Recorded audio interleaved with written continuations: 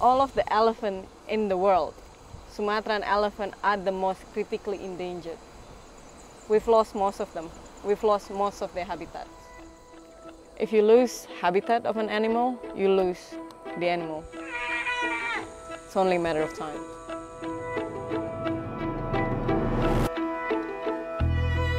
Welcome to the Leuser rainforest. Found on the island of Sumatra in Indonesia, it's the only place on earth elephant, rhino, tiger, and orangutan still live together. It's Asia's equivalent of the Amazon rainforest. But no one's heard of it, and it's disappearing. Come with us as we journey into a forest under threat. And meet the people trying to save it.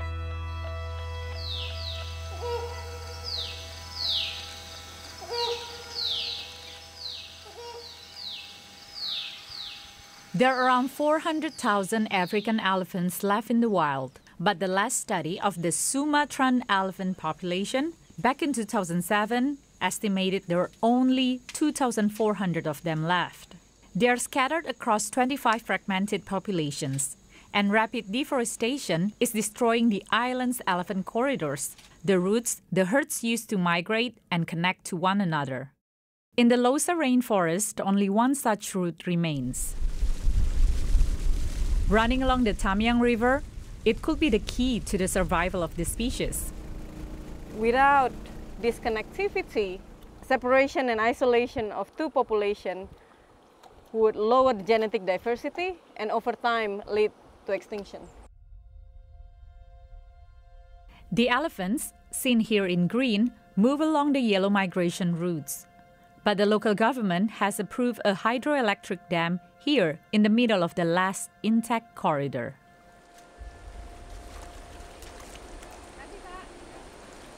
Once the wall is built, the water will stop flowing from that moment on downstream. Water will slowly go up over the course of a year to be taller than all these trees. All this will be underwater. The dam will flood 4,000 hectares. Like so many other infrastructure projects in Indonesia, it is foreign owned and funded. PT Kamirzu is owned by Prosperity Resources. Prosperity Resources is a Hong Kong based mining company. They built the dam because the next thing that they wanted to do is mine the resources out of this valley. We reached out to PT Kamirzu for comment, but they did not reply. In a twist of fate, the dam construction rests not on international power players, but on the decision of a small community of 75 families.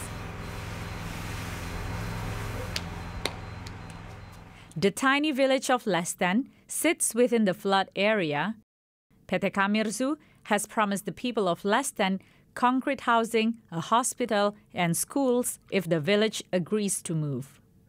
Jadi rumah tipe 45 ini, tipe 45 ini lebih bagus dari kami miliki pada saat ini.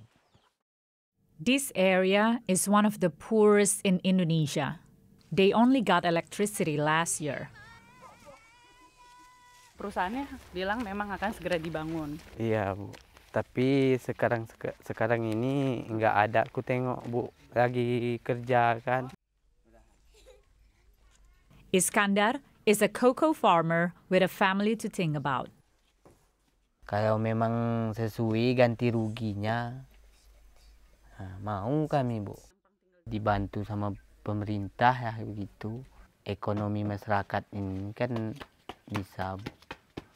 Karena kami betani lah bu, gak ada sekolah kan. This is the heart of the matter. How do you balance the needs of the local population with those of the wildlife? Conservation isn't preservation. Unless the welfare of the local people is taken into account, then all efforts are doomed to fail.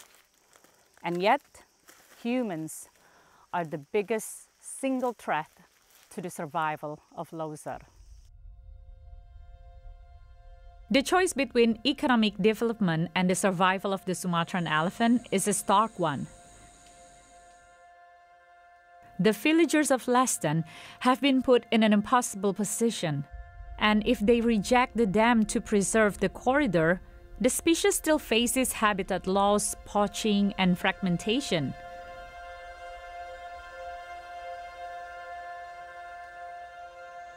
The Sumatran elephant may go extinct within our lifetime.